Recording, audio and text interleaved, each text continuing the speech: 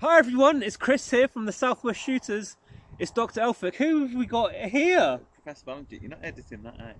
It's Professor Ballinger here. And we're we're really happy, aren't we? Well, this is a celebratory video. Of course, we're happy. We're so happy. Um, and what? So, what's the story, Professor? I believe that a, a huge milestone has been reached, so we just want to thank you for helping us get along here to 500 YouTube subscribers. 500, and we think that most of them are real people. I believe they are. So that's positive. So if we upload a video, I hope. 500 people might know that we've made a video. But we don't want to stop there. We've got ambitions to go a little bit further than this, haven't we? We're going to take over the world. We're going to take over the world. Really, what we want to do is try and double the number number we're at. So since February this year, we've made 40 videos. Right? And they've been good.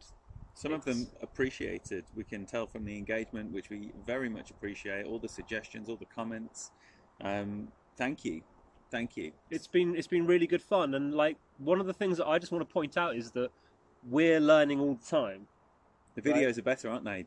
Dr. Elphick has, wow, mad skills now. So the videos are getting better. You won't believe the very first video we did where we tested the Red Wolf and the RM8. It took me nine hours to, to figure out how to do that video, right?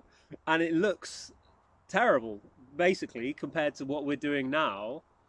But we're getting there, and it's and it's a work in progress. And I think one of the things that's really important is that we're taking on board everything Yeah, and we've got some great new things in the pipeline, you know, uh, and we, we, you know, we're going to do some great things with uh, with crack shots. The reviews are going to come thick and fast with different guns, um, all to be shot here, different ranges. And I think that one day we'll visit crack shot as well. I think that should be on the cards. Definitely. If we can organise that and look at the range at Crackshot because So because let's- it's, let's it's wrap it up. amazing.